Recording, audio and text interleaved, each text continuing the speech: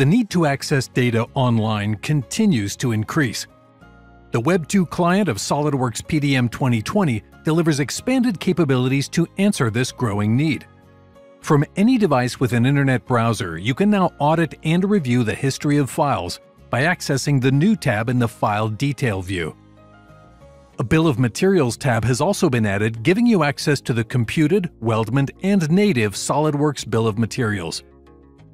When you want to download any of the data, a new Download with References page provides options to help ensure you're downloading exactly what you want. Choose the associated versions, drawings, simulation data, and more from a simple, responsive user interface. Improve how you access and work with your data with SOLIDWORKS PDM 2020.